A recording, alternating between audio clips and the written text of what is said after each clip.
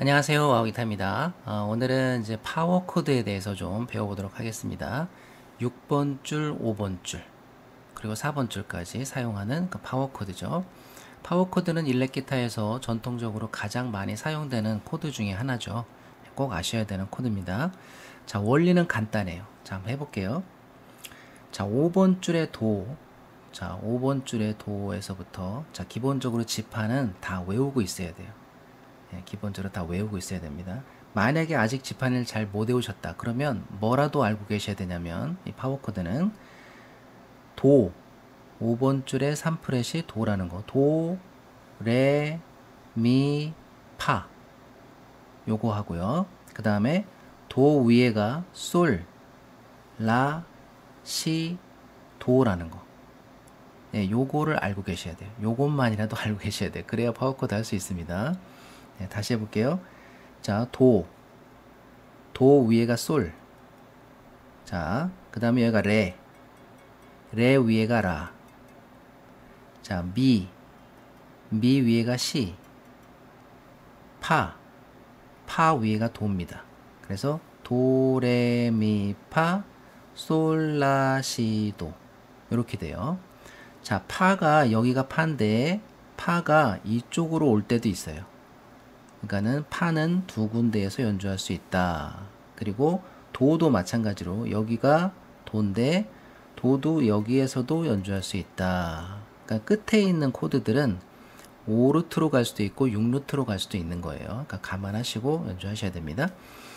자, 어쨌든 이제 이렇게 기본적으로 도레미파솔라시도를 아셨는데 자, C 코드 한번 해볼게요. 자, 도에서부터 옆에, 옆에, 밑에를 같이 잡으면 요게 C 코드예요. 소리 한번 들어볼게요. 요게 C 코드입니다. 자, 가운데 손가락으로 6번 줄을 mute를 하고 오른손은 그냥 거침없이 치면 요 잡은 두 줄만 소리가 나는 거죠. 6번 줄 뮤트 됐고 이 아랫줄들은 이 검지 손가락 여기 이쪽 살 부분에 다 닿아가지고 다 뮤트가 되어 있는 상태예요. 그죠? 6번 줄도 얘가 뮤트한 상태고 그래서 이 두 줄만 시원하게 소리가 납니다. 자 이렇게 자 여기가 C 코드고요. 그 다음에 D 코드는 뭐겠어요? 네, 그대로 레로 가면 D 코드죠. 그러면 E 코드는 뭐겠어요? 예, 그대로 미로 가면 E 코드예요. 그러면 F 코드는 뭐겠어요? 예, 설명이 필요 없죠. 그대로 파로 가면 이게 F 코드인 거예요. 이런 식으로. 자, 파워 코드는 좋은 게 뭐냐면, 자, 1도와 5도 두 음만 잡기 때문에 1도하고 5도만 잡기 때문에 메이저 코드, 마이너 코드의 구분이 없어요. 그죠? 뭐 이 정도 이제 다 아시잖아요.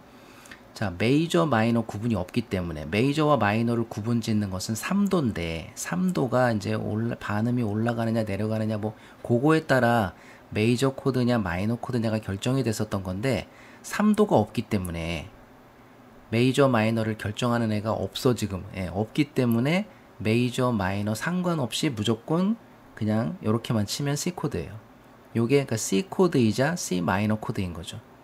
예, 파워 코드는 그래서 엄청 간단하고 쉬워요. 자, 그러면은 요게 이제 C 코드고 그 다음에 위에 줄, 위에 줄로 올라가 볼까요? G 코드, G 코드 뭐겠어요? 똑같은 원리죠. 솔에서부터 옆에, 옆에, 밑에.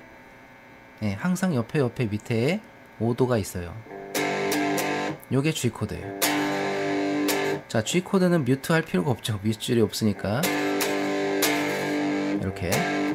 자, 이제 간혹 이렇게 검지와 약지를 이용하지 않고 검지와 이 소지를 이용하는 분들도 계세요. 요게 음, 좀 편하긴 해요. 왜냐면은 손가락이 이렇게 벌어질 필요가 없으니까. 벌어진다라고 하는 게 상당히 이게 기분 좋은 일은 아니거든요. 왠지 기분이 언짢아. 이걸 벌리고 있으면 힘들기 때문에. 예. 그래서 이 소지를 사용하면은 손이 자연스러운 이런 모양이기 때문에 사실 뭐 스트레스 받을 게 없어요. 음, 굉장히 좋은 모양이 되긴 해요. 자, 그런데 문제는 뭐냐면 초보이신 분들은 소지에 힘이 없어요. 그래서 이게 잘 안 잡혀. 얘가 버티질 못해요. 이 힘을. 누르는 힘도 버티질 못하고 이렇게 막 이동하면서 또 막 눌러야 되는데 재빨리 이동도 하고 재빨리 누르고 막 해야 되는데 얘가 그만큼 빨리 민첩하게 움직이기도 힘들고 그만큼의 민첩하면서 힘을 줘서 움직이기도 힘들어요. 예, 그 여러 가지 면에서 얘는 사실 초보분들이 사용하기 좀 힘든 손가락이에요. 예, 그래서 만약에 이게 잘 되신다 그러면 이렇게 그냥 하시고 이게 이제 A 코드가 되겠죠. B 코드, C 코드. 만약 이게 잘 된다 이렇게 하시고 C 코드, D 코드, E 코드 이렇게 하시고 이게 잘 안 된다 그러면 조금 어려워도 이렇게 하세요. 이것도 사실 그렇게 많이 벌어지는 거 아니에요. 손가락 막 이렇게 벌리고 하는 거 아니잖아요. 그죠?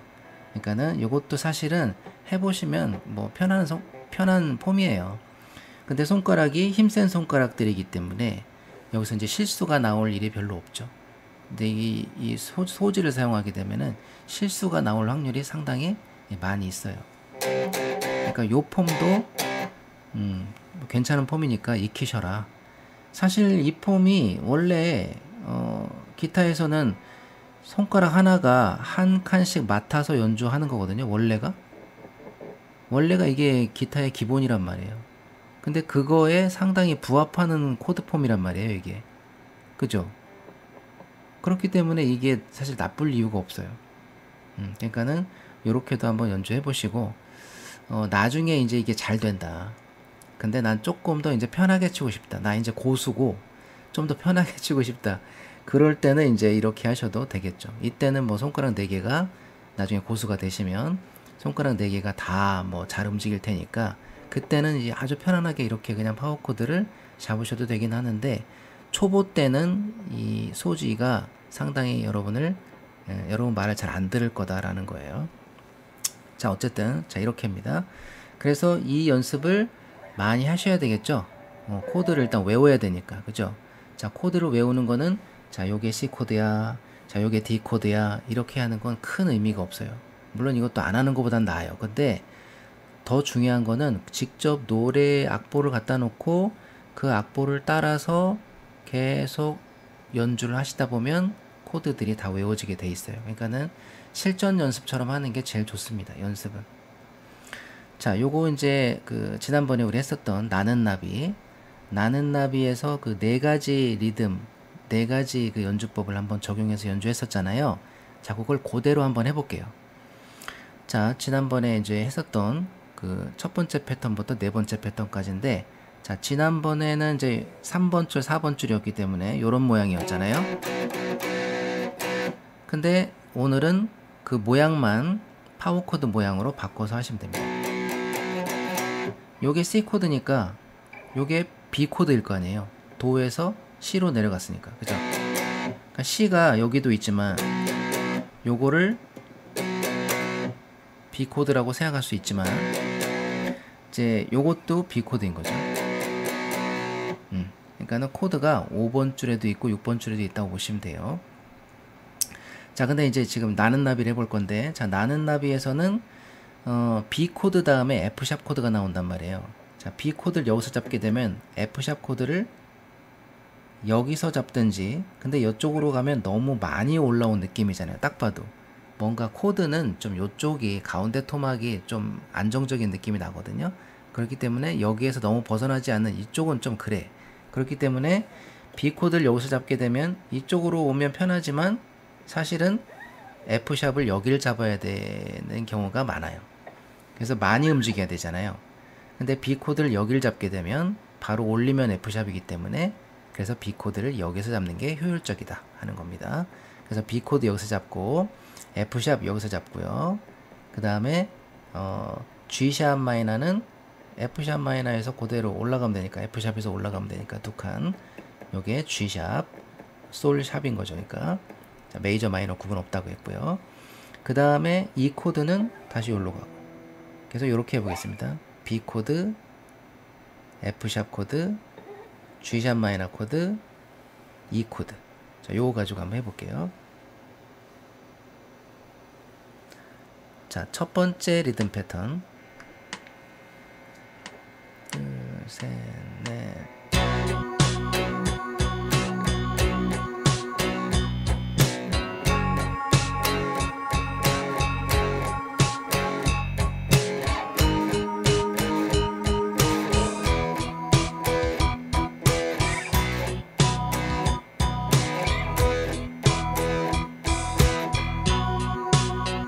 자, 이런 식으로 하시면 이게 첫 번째 리듬 패턴이고요.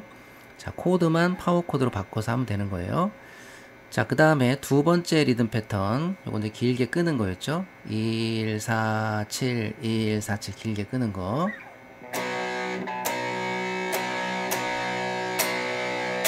요거죠. 자, 한번 해보겠습니다. 요거 갖고도.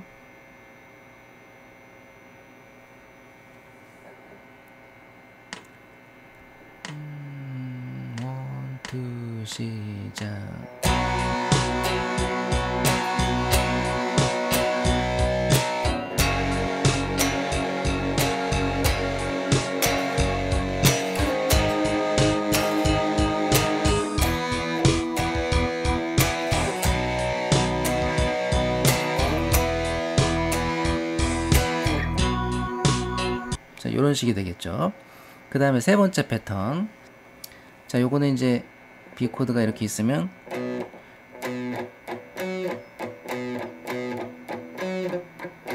이렇게 되는 거죠.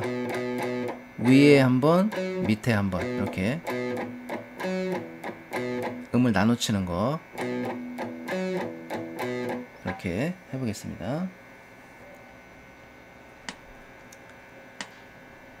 원, 투, 시작.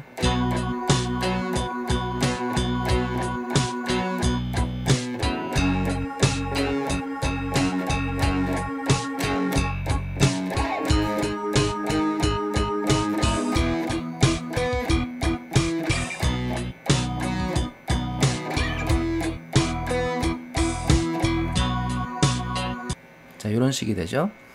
그 다음에 이제 네 번째 패턴. 네 번째 패턴은 요거 지금 세 번째랑 똑같은데 그냥 예, 똑똑을 안 하는 거죠. 그냥 따, 따, 따, 따, 따, 따 짧게 그냥 그렇게 치는 거죠.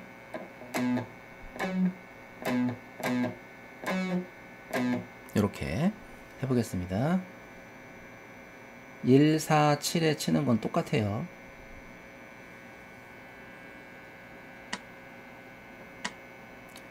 원, 투, 시작.